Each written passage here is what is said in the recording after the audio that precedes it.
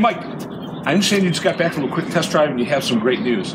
Would you tell everybody out there what the great news is and what this project you've been working on is? Well, Norm, um, certain trucks we've had issues with overheating. And when they overheat, the driver either has to stop and let it cool down, or if they keep going, we lose an engine. Uh, this product here that I've just test driven and it's in the trial phase seems to solve that issue.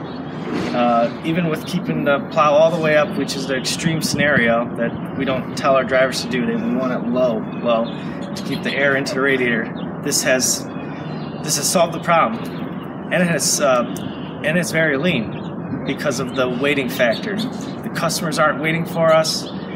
The drivers aren't waiting if to either uh, pull over and let it cool down, or if the engine fails, we're now waiting for the truck to come back with a new crate engine.